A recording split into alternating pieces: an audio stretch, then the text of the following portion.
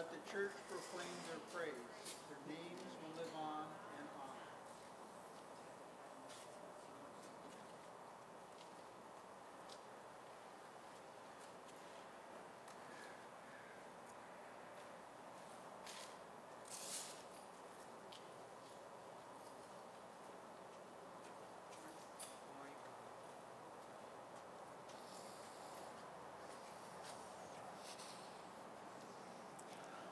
Good morning.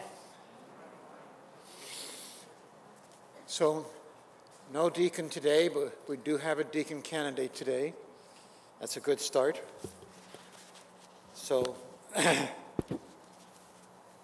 today we're remembering uh, the 85th birthday of Jackson Scharf.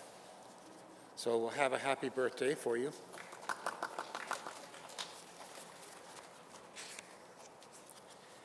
And we have the li- living intentions of baby Johanna Harris, Zaki Buenaqua, Sam Banaqua, Banaqud, and the repose of the souls of Arthur Torres, Cora Powers Christ,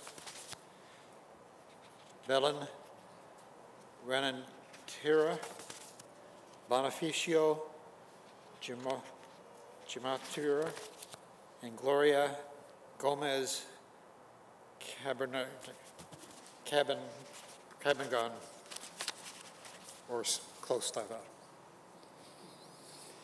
In the name of the Father, and of the Son, and of the Holy Spirit. The Lord be with you. My brothers and sisters, to prepare to celebrate the sacred mysteries, we first ask for God's forgiveness. I confess, Almighty God, you, my brothers and sisters, I have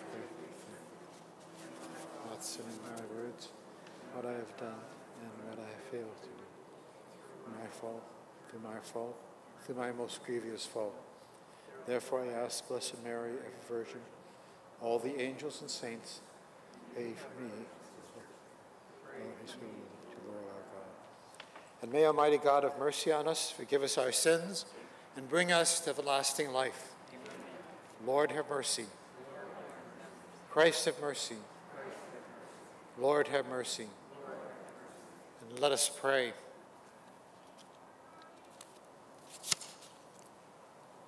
O God, who were pleased to give light to your church by the example and teachings of the bishops, Saints Basil and Gregory, grant, we pray, that in humility we may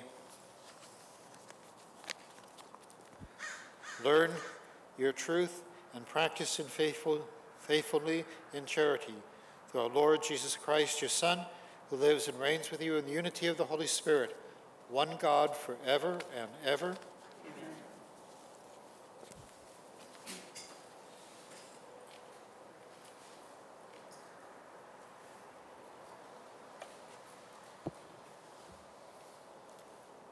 A reading from the first letter of St. John. Beloved, who is the liar? Whoever denies that Jesus is the Christ. Whoever denies the Father and the Son, this is the Antichrist. Anyone who denies the Son does not have the Father, but whoever confesses the Son has the Father as well. Let what you heard from the beginning remain in you. If what you heard from the beginning remains in you, then you will remain in, in the Son and in the Father. And this is the promise that He made us eternal life. I write you these things about those who would deceive you. As for you, the anointing that you receive from Him remains in you, so that you do not need anyone to teach you. But this but his anointing teaches you about everything and is true and not false. Just as it taught you, remain in him. And now, children, remain in him, so that when he appears, we may have confidence and not be put to shame by him at his coming. The word of the Lord. All the ends of the earth have seen the saving power of God. All the ends of the earth have seen the saving power of God. Sing to the Lord a new song, for he has done wondrous deeds. His right hand has won victory for him, his holy arm.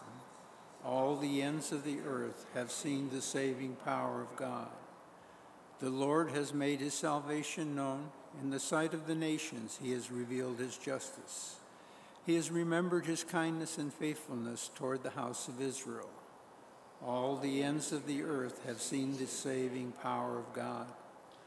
All the ends of the earth have seen have seen the salvation by our God. Sing joyfully to the Lord, all you lands.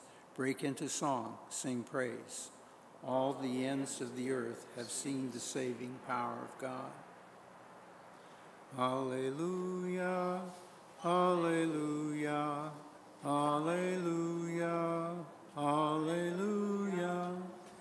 In times past, God spoke to our ancestors through the prophets. In these last days, he has spoken to us through his Son.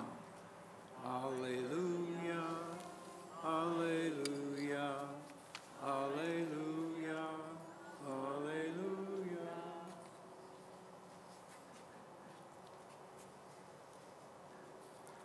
The Lord be with you. A reading from the Holy Gospel according to John. This is the testimony of John. When the Jews from Jerusalem sent priests and Levites to him and asked him, Who are you? He admitted he did not, and he did not deny it, but admitted, I am not the Christ. So they asked him, Who are you then? Are you Elijah? And he said, I am not. Are you the prophet? He answered, No. So they said to him, Who are you, so we may give an answer to those who sent us? What do you have to say for yourself? He said, I am the voice of one crying out in the desert, Make straight the way of the Lord. As Isaiah the prophet said, Some the Pharisees were also sent. They asked him, Why then do you baptize? If you are not Christ or Elijah or the prophet? John answered them, I baptize with water, but there is one among you whom you do not recognize, the one who is coming after me, whose sandal strap I, I am not worthy to untie. This happened in Bethany across the Jordan where John was baptizing. The Gospel of the Lord. So we have uh, a couple of very famous, very uh, wise men in today, today, and a chance for us to remember them. Basil, and um, so, you know, we're getting ready for three wise men tomorrow. Today it's just two. And now we have one wise man, and that's going to be our deacon candidate.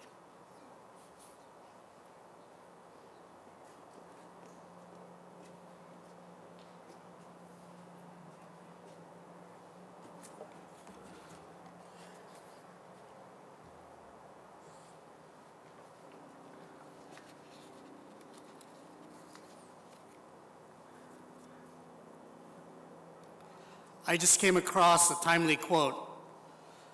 Our hope is not in the new year, but in the one who makes all things new. If you're still looking for New Year's resolutions, perhaps consider praying for the grace of desire to be more like Jesus, and then watch all the jigsaw puzzle parts of your life start perfectly coming together. How do we become like Jesus?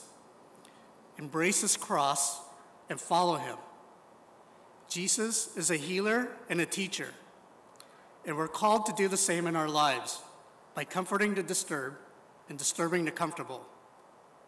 Today we have great examples. We celebrate the lives of St. Basil the Great and St. Gregory Nazianzus, both bishops in the church. Both were born in the year 330 in Asia Minor, the modern area, or the area of modern day Turkey. They met while in school Both were highly educated and were gifted preachers and teachers. They converted many into Christianity. Basil is a doctor of the church and earned the title Great for also his holiness and great charity. He took the time to help the poor. He gave away his inheritance and started a soup kitchen. Earlier in his life, he also moved to the wilderness and started a monastery. Gregory was so good in preaching that he disturbed the comfortable to the point of almost being murdered by a young man who repented at the last minute, and Gregory comforted the disturbed through gentle goodness and forgave the young man. Their timely message for us today is to become authentic witnesses of our faith. They did it by teaching and healing through works of mercy. The two saints, who simply wanted others to see Christ in them, reinforce another great witness of Jesus. In the gospel reading today, we are reminded that St. John the Baptist was given a critical task of preparing the way for the coming of our Redeemer, Jesus Christ. He disturbed the comfortable by announcing the coming judgment and the need for repentance. He also comforted the disturbed, which led many to be baptized. John's witness is transcendent. It reminds us that we each need to experience in our heart that there is more to life than our existence in the material and secular world. It all started with the miraculous circumstances of his conception and birth. From his natural, supernatural beginning, he was filled with the Holy Spirit. He had an ascetic lifestyle. He wore camel's hair and ate locusts and wild honey in the desert. I've been in that part of the desert in the Holy Land, and I can attest how the desolate surroundings would have provided him solitude to hear the voice of God. By separating himself from the world, he gave testimony of another world. By detaching from the material and earthly distractions, he teaches that one may come closer to experiencing the presence of God in our life. John the Baptist attracted many followers, even to the extent that many wondered if he was the awaited Savior. But he was not about himself, and he always pointed to the real Messiah. As an authentic witness, he lived his message of humility and simplicity. Because his beliefs and actions were consistent, he gained credibility, which in turn helped him be an effective witness when he preached the truth. Just like today, people were also hungry for the truth back in his time. They were tired of the restrictions imposed by their repressive leaders. Throughout our human history, we yearn to break the chains of slavery to sin and worldly desires. John helped many receive the grace to see that perspective. They began to turn their lives around through repentance, and they were renewed with hope and peace through baptism. John's ultimate witness came through his martyrdom and standing up for the truth in the sanctity of marriage. As one of the first disciples of Jesus, he knew that he had to persevere witnessing the truth to glorify God, even if it cost his life. As we reflect on his witness, I think about the tremendous fortitude he had to resist the temptations to elevate himself as he built the following.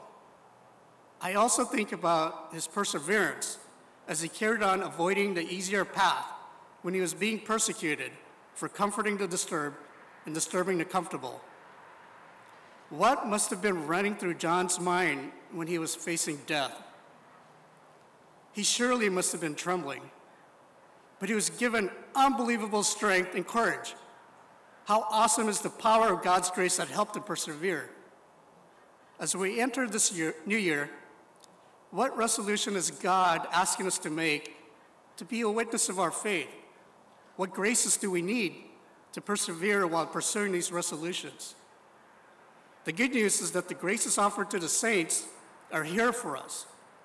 May we hear God's call, and may we ask today for the graces needed to move forward as the saints did, preparing the way for the Lord, disturbing the comfortable, comforting the disturbed, and as St. Peter also instructs us, to always be ready to give an explanation to anyone who asks you for a reason for your hope, but do it with gentleness and reverence.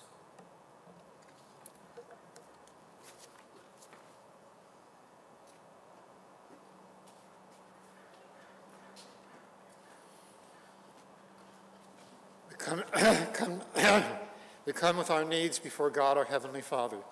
We pray for our Holy Father. We pray for our bishops and all who lead us in following Christ. We pray to the Lord. We pray for the sick that they may have healing grace. We pray to the Lord. We pray for the deceased that they may have eternal rest. We pray to the Lord. We pray for the special intentions we have for today.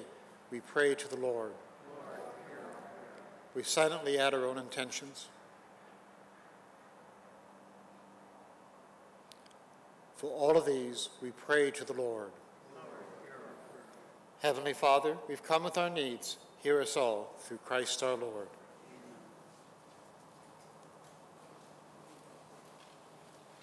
I guess it's just down to you and me. Yeah.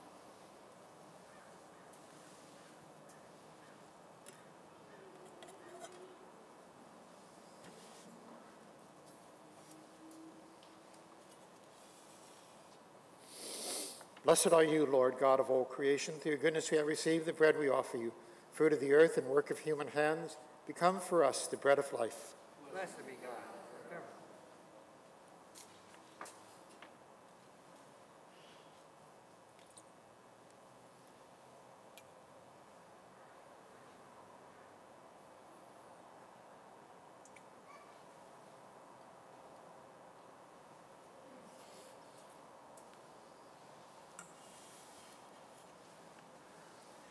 Blessed are you, Lord God of all creation. Through your goodness we have received the wine we offer you, fruit of the vine and work of human hands. Become our spiritual drink.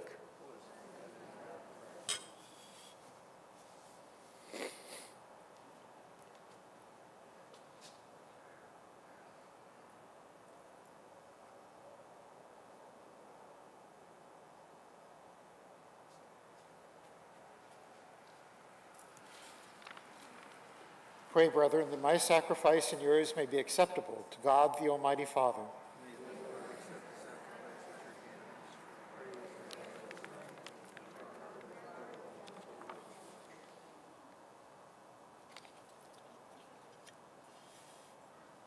Accept the uh, sacrifice from your people, we pray, O Lord, and make what is offered for your glory in honor of Saints Basil and Gregory a means of eternal salvation through Christ our Lord. The Lord be with you. Lift up your hearts. Let us give thanks to the Lord our God. Father, all powerful and ever living God, we do well always and everywhere to give you thanks. You are glorified in your saints, for your glory is the crowning of your gifts. In their lives on earth, you give us an example. In our communion with them, you give us their friendship.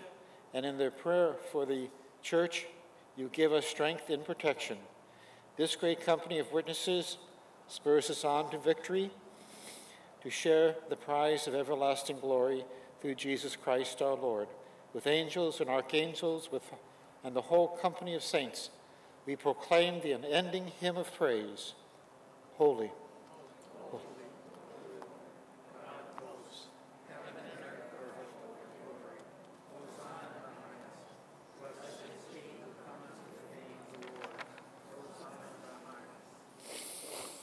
You are indeed holy, O Lord, the fount of all holiness.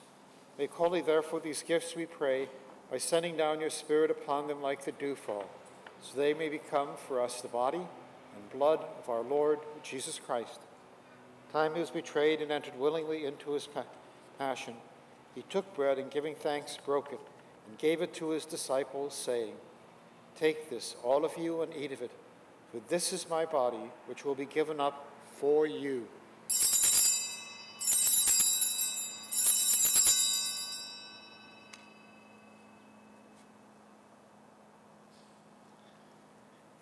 In a similar way, when the supper was ended, he took the chalice. Once more giving thanks, he gave it to his disciples, saying, Take this, all of you, and drink from it, for this is the chalice of my blood, blood of the new and eternal covenant, which will be poured out for you and for many for the forgiveness of sins. Do this in memory of me.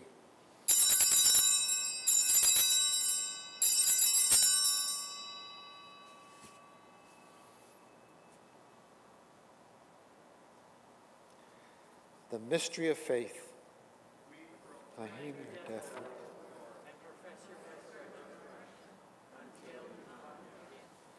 Therefore, as we celebrate the memorial of his death and resurrection, we offer you, Lord, the bread of life and the chalice of salvation, giving thanks that you have held us worthy to be in your presence and minister to you.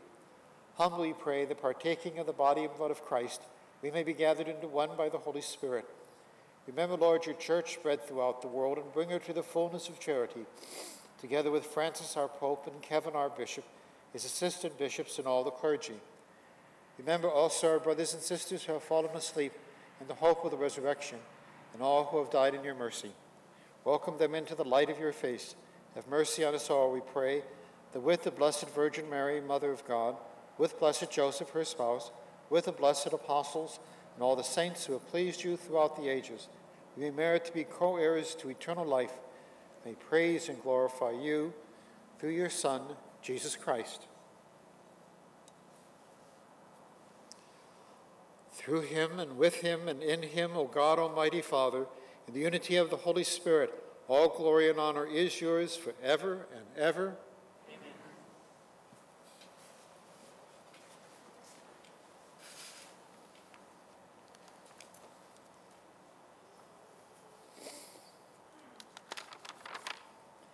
At the Savior's command, informed by divine teaching, we dare to say, Our Father, who art in heaven hallowed be thy name.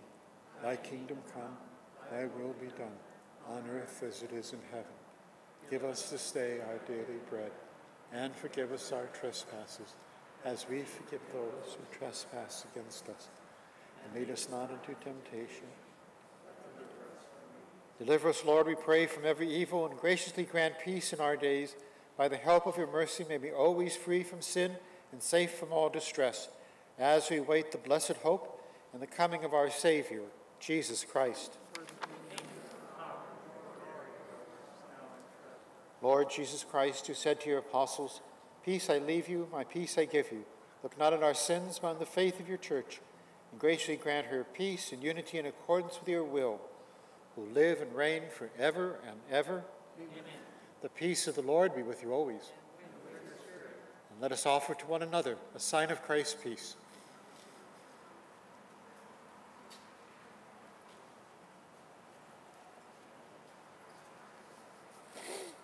Lamb of God.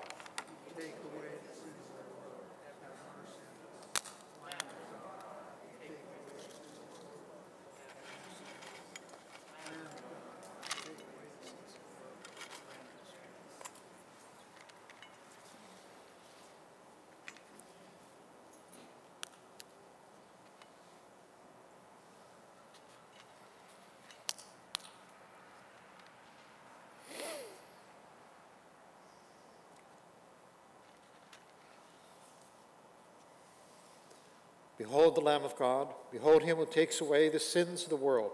Blessed are those called to the supper of the Lamb.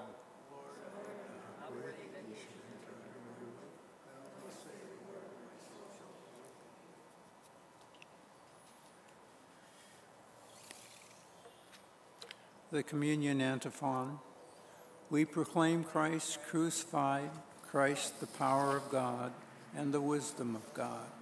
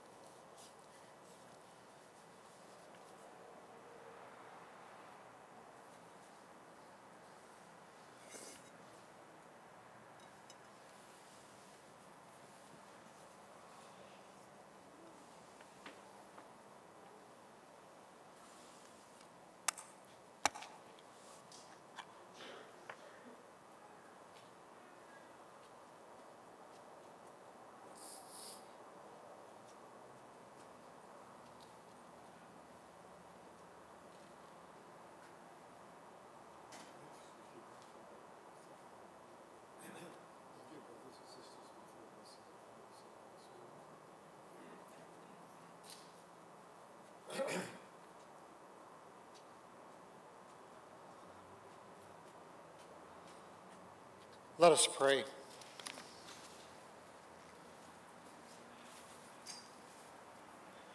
Accept this sacrifice from your people, we pray.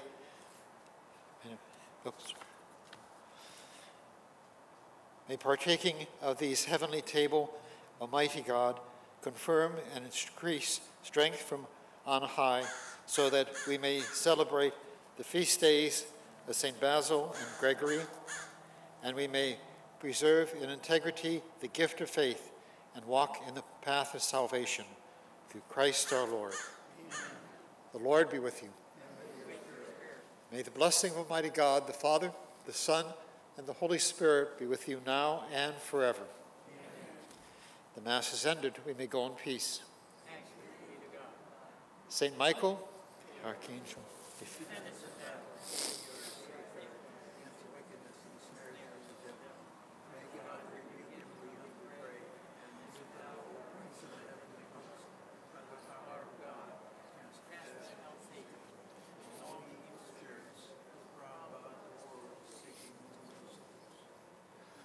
So we have a uh, birthday to celebrate for Jackson or Ja- Jack.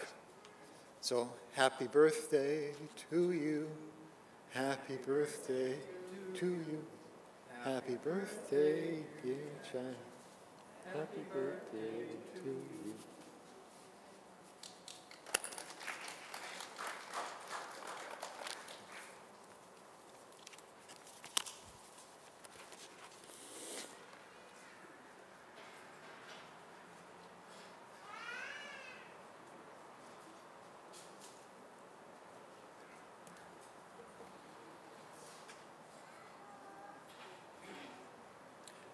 A prayer of strength and protection for priests and religious. Hail Mary, full of grace, the Lord is with thee. Blessed art thou amongst women, and blessed is the fruit of thy womb, Jesus. Holy Mary, Mother of God, pray for us sinners, now at the hour of our death. Amen.